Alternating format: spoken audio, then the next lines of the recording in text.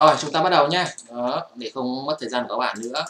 Cái chuỗi 6 ác thì mình vẫn làm đều đặn. Các bạn nào cần 6 ác thì cứ nhắn tin vào Facebook cho mình. À, link Facebook của mình ở phần mô tả nhé các bạn. Đây là một ác đường môn và hiện tại bạn đang đi độc. Chúng ta thể thấy cái lát độc ở đây. Và thuộc tính độc ở đây đang là 6k, gần 6k1.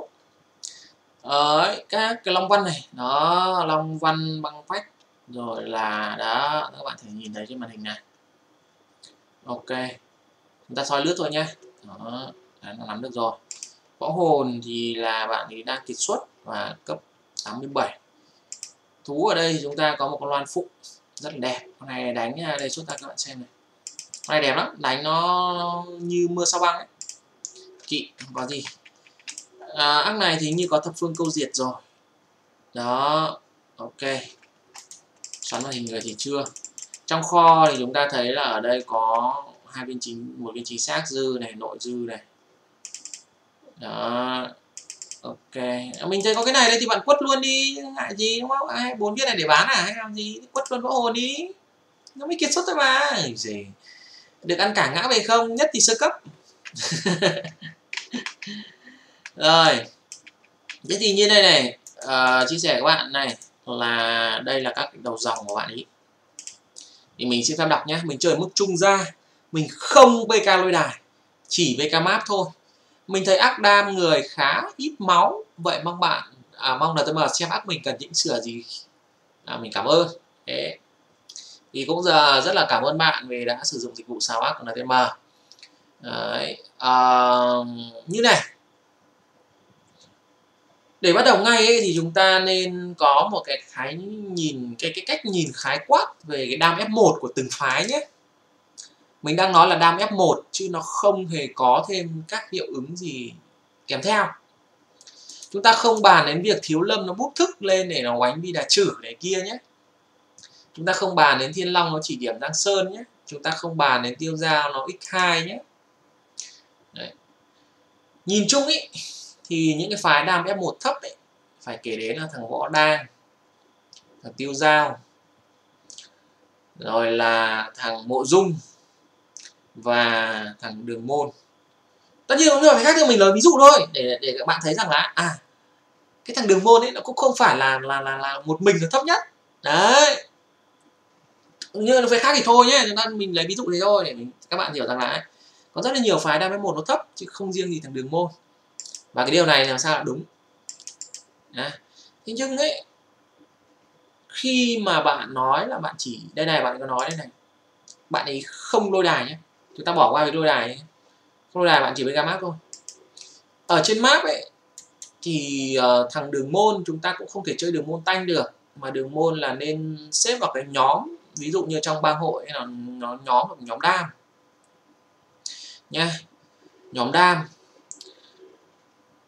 khi mà ở cái cái cái nhóm đam ấy thì các bạn mà đi tanh nữa thì, thì, thì thằng nào đam đúng không? Một bang hội mà thằng nào cũng tanh thì thằng nào đam đúng không? Nên khi các bạn đi đam ấy thì nhìn chung là nếu như bạn bị bị ôm ấy hoặc là cái cái lượng đam vào người bạn nó lớn năm sáu thằng nó cùng dồn vào bạn ấy thì đương nhiên cái việc hiệu nó là nhanh. Thì bạn sẽ hiệu nhanh hơn những thằng tanh thì đương nhiên rồi tanh nó ốp kháng còn ờ, đam thì ốp thân pháp cuối là gì đương nhiên phải hiệu nhanh hơn đúng không? Đấy. Tuy nhiên cái khi đi bk ấy, bạn phải chấp nhận điều này. Và bạn nên núp lùm hoặc bạn ờ, nép góc hoặc là nép mép để bắn thôi. Ví dụ như là đi đánh tống kim chẳng hạn thì bạn lên hai cái hai cái sườn mép ấy. chứ đừng có tô tô ở giữa. Giả sử như bạn bên tống chẳng hạn thì bạn leo lên đỉnh núi ấy, mà cầu xuống hoặc là bên ờ, đi vòng là ngách chó à quên ờ, mật đạo à, quên là ngách chó mật đạo nhá. Thì để bạn bắn thì đấy cũng là một ý, ý tưởng không tồi. Đấy thì đi hát linh hát linh thế ví dụ như bạn đánh cửa lên ấy thì chúng nó cứ dàn trận ra ở giữa thì bạn nép vào hai bên ờ, rừng thông đấy mà bạn bắn ra. Thì đấy là cái cách chọn vị trí để làm nào cho mình nó, nó, nó, nó ừ, trâu nhất nhé chỉ chọn vị trí thôi. Thế còn về cái phần đam ấy bạn có nói là cái đam F1 mà bạn muốn cho nó, nó, nó, nó lớn hơn chút ấy thì cái câu chuyện này nó cũng hên xui lắm. Một ý là theo mình nghĩ là bạn chỉ nên bó vào cái phong lô vận quân này này. Thì bó vào cái này là 10 giây. Thì lúc nào bạn chờ cái thằng đối phương ấy cái thằng thằng địch của bạn ấy nó còn tí tí máu thôi hoặc là còn còn từ nửa máu quay xuống này này. Thì bạn bút này lên bút này lên thế này. Đấy hai cái này bút cái bút cái này trước xong bật cái này sau nhá. Đấy. thế thì bạn khả năng là bạn cay mạng được nhiều và đi tổng kim cũng vậy. Đấy. thì khi mà bạn cao hết mạng được nhiều ấy thì cảm giác của bạn nó sẽ lâng lâng bạn sẽ thể khoe chiến tích của cho người A người B người C ở cái cái cái, cái kênh hệ thống này. Đấy thì vân vân và mây mây nó sẽ làm bạn tự tin bạn sảng khoái hơn mà chơi game đôi khi là nó, nó sướng hơn. Đấy, chứ còn nếu như mà nó còn đầy máu ấy mà bạn à, dùng luôn cái này ấy, thì đôi khi là hết cái này rồi nó có được có 10 giây thôi. Thì thằng kia vẫn chưa hiệu đôi khi là đến lúc đấy thì bạn không cay hết được. Đi tống kim thì cái mạng là được điểm được à, phần thưởng và được ấn được năng hiệu nhưng mà đi đi map ấy thì như thế là có vẻ là hơi ích kỷ.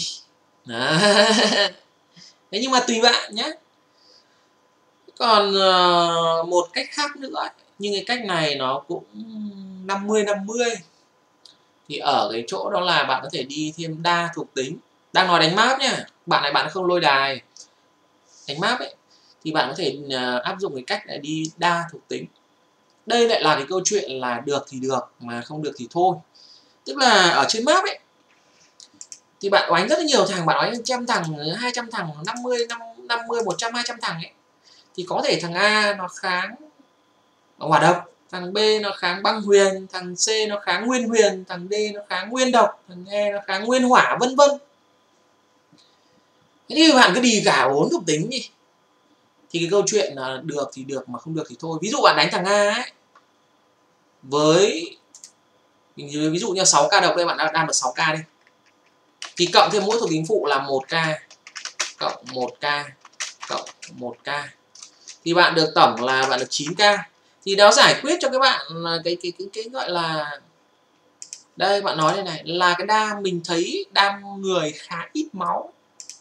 Nó giải quyết cho bạn cái đó. Thế nhưng, cái nhưng này quan trọng này, mình chia sẻ với bạn rất nhiều video rồi đấy là mình vừa nói xong đấy có thể thằng A nó kháng băng huyền thằng kia nó kháng hỏa độc thằng này kháng của nó thấp hơn cái giảm kháng phụ của bạn thằng kia kháng lại cao hơn giảm phụ của bạn. Thế nên câu chuyện 9k này ấy, là được thì được mà không được thì thôi. Không được thì thôi thì là có nguyên độc thôi. Thì nó sẽ giúp bạn đánh thằng A ví dụ là đánh thằng A cũng được 6k vì nó kháng ờ, bạn đi độc rồi nó kháng ờ, băng hỏa nguyên đấy đánh thằng B thì ví dụ như nó là không có kháng ờ, hỏa ờ, và không có kháng ờ, không kháng hỏa, không có độc chẳng hạn, thì bạn đam được 7k chẳng hạn. Đam thằng C được 8k chẳng hạn. Đam thằng E là 9k chẳng hạn. Không quay lại đam thằng nữa nữa thì được có 6k thôi. Thì nếu như mà bạn thích cái đó, thì bạn có thể chuyển sang là ba hoặc là bốn độc tính, tùy. Nha nhưng mình nói rồi đấy, nó sẽ không tuyệt đối được đâu và nó cũng sẽ tốn cho bạn khá khá cái tiền giảm kháng đấy tại vì nếu bạn ốp mỗi loại một viên ấy, đấy, là bạn cũng mất 150k một viên rồi bốn viên là bạn à, à ba viên ờ, giảm kháng phụ ấy là bạn mất ờ, khoảng cỡ bốn trăm rưỡi rồi. Đó. Nếu bạn ốp mỗi loại hai viên ấy là bạn đâu khoảng mất khoảng 900 rồi gần triệu ba rồi thế nên cân nhắc chỗ này nha mình tại vì bạn không nói đây là bạn chỉ đi đưa những gạch đầu dòng này thôi nên là mình sẽ phân tích cho bạn hiểu thôi còn thêm một điểm nữa ấy, đó là bạn có hỏi ở đây đây đây.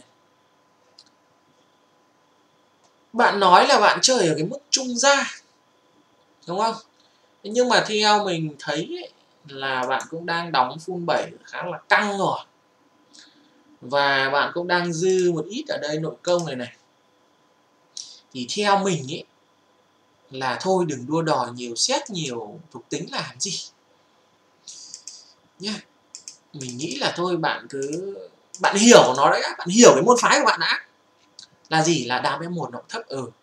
Lúc nào bật cái này lên thì nó to đấy lúc nào nổ cái này lên thì nó nổ đam là cũng to đấy. Kết hợp thêm phần trăm ở cái này này. Đấy là 200 đây mình sẽ chuyển nó sang đây các bạn dễ nhìn này. Đây này. Đấy nó là tăng 250 đến 200 200 à, đến 250 ấy, thì cộng thêm phong lôi này nữa. Ở ừ, cái lúc đấy nó to đấy. Thì mình đánh lúc đấy thôi. Còn đâu mình cứ chơi một thuộc tính ấy. đỡ phải ốp giảm khá nhiều đỡ mất tiền mà đam nó đều đều tay. Mặc dù nó hơi bé hơn đấy nhưng mà cái kia nó có đều đâu. Đấy là như vậy. Thì bạn có thể cân nhắc cái này. Thì còn không biết bạn có đăng trên livestream không? Nhưng mà uh, những cái gạch đầu dòng bạn đưa ra là hơi ít. Thì mình đã giải quyết cho bạn hết rồi. Đấy.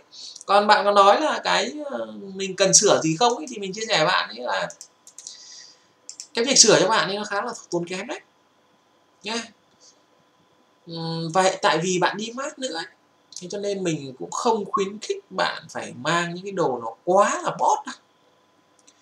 Bạn hãy chỉnh sửa nó trên cái điểm ví dụ như là như này, này. giả sử như cái món này nhé thì nếu như mà cái ngoại thủ ấy kìa nó dành dòng tất cả tính ấy, là dòng bot thì đôi khi nó giá nó hơi đắt. Thế thì đi VK map rồi các bạn bạn chỉ VK map thôi thì mặc cái đồ đó nó hơi phí nếu mà chế được ý, thì bán đi. Còn bạn có thể mặc nó na ná những cái đồ ví dụ như nó thuần nội. Giả sử như là cái ngoại thủ ấy kìa.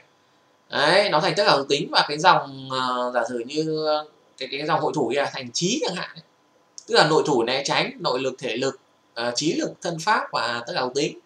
Thì cái đồ đấy nó khá là rẻ.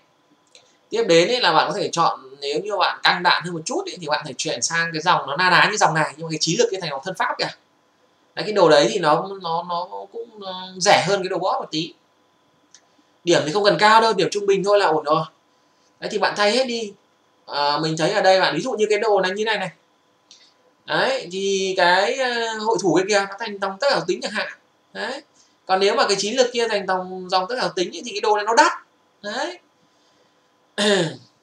Còn cái áo này thì cũng thế thì bạn nên ưu tiên cái dòng thân pháp và dòng tất cả tính cái dòng tất cả thuộc tính là nó cộng vào đây cho bạn này. ví dụ nhé 18 điểm vào đây này thì nó cộng 18 điểm vào đây 18 điểm vào đây 18 điểm vào đây 18 điểm vào đây 18 điểm vào đây cho nên tất cả những món đồ này của bạn chưa có này nên mình tính sơ sơ cho bạn nhé đây này chỗ này của bạn có 10 thiếu 18 này đấy cộng này chỗ này chưa có 18 này cộng này chỗ này có rồi chỗ này chưa có này cộng 18 này đấy chỗ này chưa có là cộng 18 này đấy. Cái này chưa có 18 luôn này. Ok cái này chưa có này 18 này. Đó.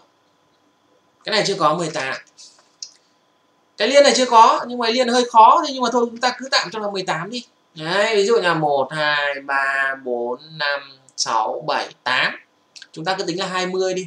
20 nhân 8 là 10, 160 thì 2, 4, 6, 8, 10, 12, 14, 16 vị trí là nó khoảng gần ờ, trăm tư hơn trăm tư một tí. Cái chỗ này tất cả những cái dòng này của bạn này đang thiếu một trăm tư này.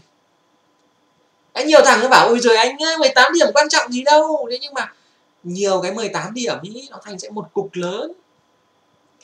Và nhiều cái 18 điểm đôi khi nó sẽ quyết định cho bạn việc là PK thắng hay thua còn có mấy cá máu thôi.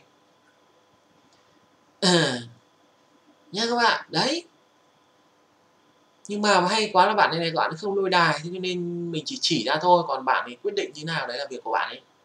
Bạn ấy sẽ tự quyết định. Còn những cái món này ví dụ như món này chưa có thể này. Đấy món này cũng chưa có thể này. Đấy là lý do mà máu của bạn ấy vẫn còn hơi thấp.